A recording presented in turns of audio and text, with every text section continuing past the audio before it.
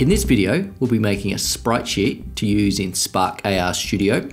We'll start by making the animation and creating the sprite sheet in Adobe After Effects, giving it a little tweak and crunching it down in Photoshop before sending it over to Spark.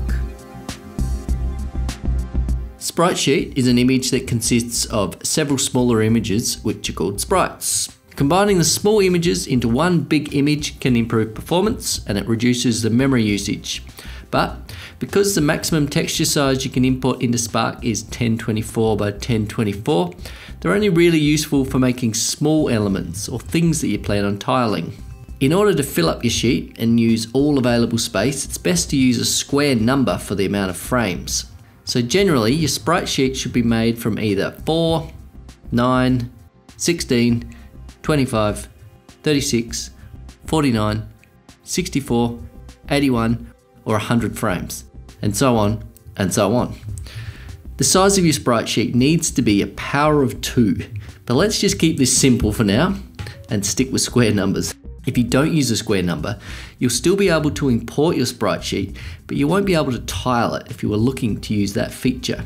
To build my sprite sheet, I'll set up the comp here in After Effects. If you already have an animation or you want to build something completely different, then just skip ahead to the sprite sheet building section. I'll put up some sort of link to that now. Okay, so composition, new composition. I'm setting this up at 1024 by 1024.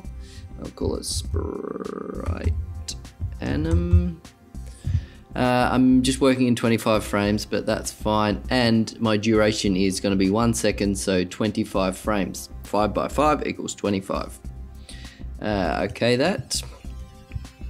And I'm just, I'll put in a new solid layer, new solid, and I'll just make that make sure this comp size doesn't matter about the color because it's going to get replaced.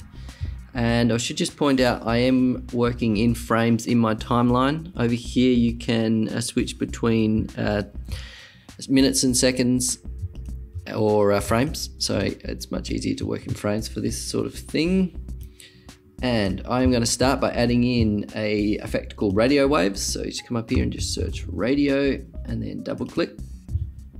And what that does is it generates this.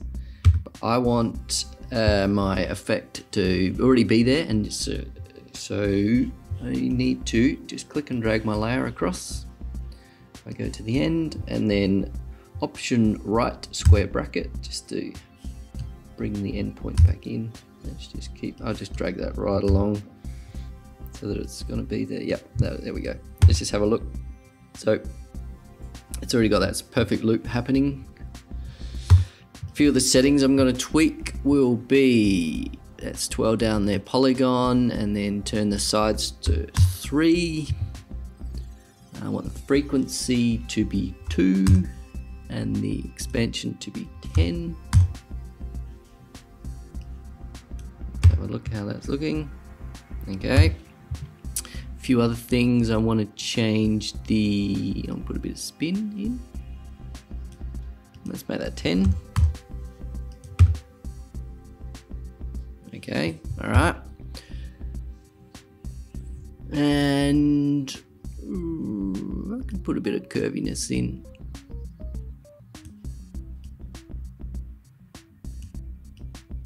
I'm just going to tweak these. Okay, so let's go with 0.4 in the curviness and let's go 0.4 in the curvy size. Okay, I like it. The other thing I'm going to add is a kaleidoscope. Okay, a, yeah, CC Kaleida. If you just search up there and then just double click, make sure your layer is selected, double click. All right, and the settings we want to change in this, we want the size to be 100 because I don't want it to be tiled because we're going to be tiling that ourselves. And then I'll change the mirroring to be stylish. Let's see how that goes. All right, that works all right for this, for what we're doing. This is just quick and simple. I'm going to add another layer. Well, that's just uh, yeah, that I'm happy with that color. I'm going to add, so I'm just going to click on my layer. Uh, Command D or Control D to duplicate. So that's another layer with the exact same settings. I'll, just tweak a few of these settings. Um, let's give it four sides. Let's change the color to be more of a lighter blue. And let's change the mirroring to be flip-flop.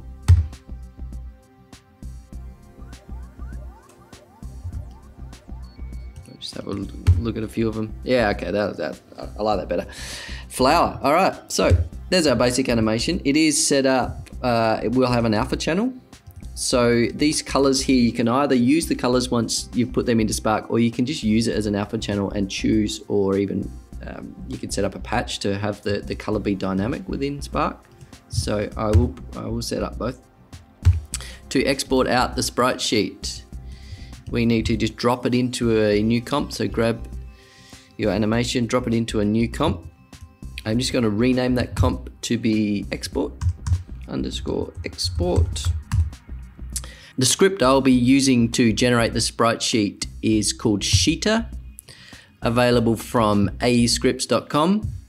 Uh, it is a name your own price script. Um, the displayed amount is only a suggested amount, but once you have downloaded that script and then you just place that into your uh, application directory and then scripts scripts UI panels and then that uh, script is just placed in there and then the application is restarted.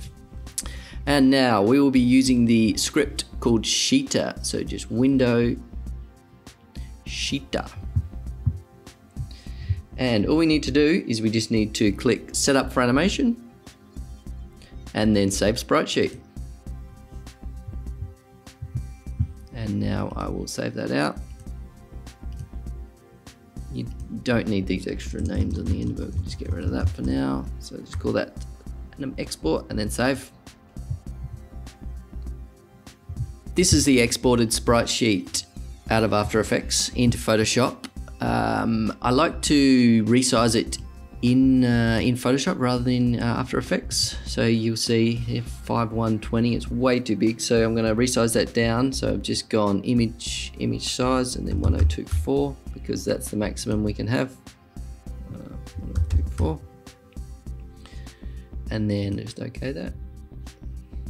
All right, now we'll just chuck a background in here so we can have a actually have a look at what's going on. solid color. I will delete this so it doesn't run out too much. Now let's make it darker. So a sprite sheet has come out 5 by 5, 25. So this is exactly what I want. That is all good. And now I like to recompress this out of here and the, um, the way I like to do that is just with file, export, export as, and choose PNG to keep that alpha channel, but I choose smaller file, 8-bit file will drop the uh, file size considerably, so that's not better. So that's one of the main reasons why I like to bring it into Photoshop rather than go straight from After Effects. And now we can export that out. Now just I can just write back over that file. blank project here in Spark. I'll just import my sprite sheet. I'll go down to add asset, animation sequence. I'll call this my very original name, sprite sheet. And then we want to come up here to the settings and under texture, I want to choose new image texture. I need to find my sprite sheet. There it is. Open.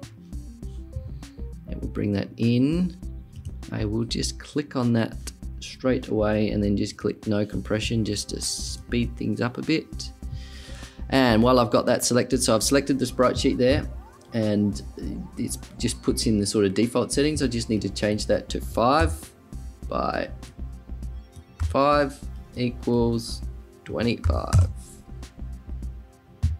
And while I've got this selected, I will just scroll down and then in the U tiling mode and in the V tiling mode, I will change them both to repeat.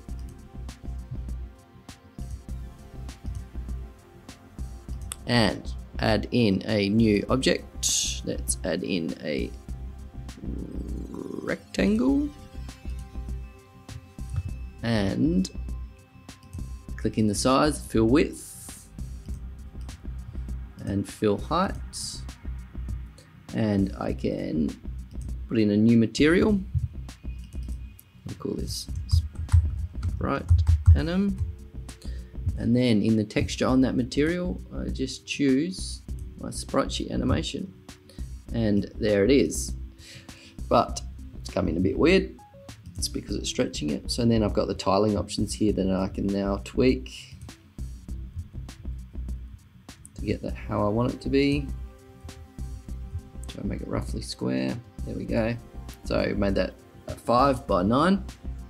And that is the basics of how to bring in a uh, sprite sheet from After Effects into Spark. Um, while I've got this here, I will just add in, uh, I'll duplicate my rectangle. And I'll go to camera and extract the texture and extract the segmentation. And then on that second rectangle, go to the material, create new material. This will be person, so just rename person. In the texture, I will choose camera texture. And then in the alpha, I'll select it and choose person segmentation. And there we go.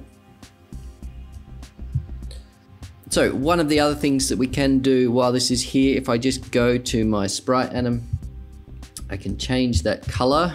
Let's choose a red.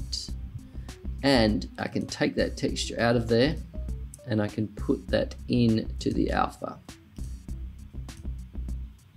And now that is using the sprite sheet as the alpha channel and then you can tweak those colors.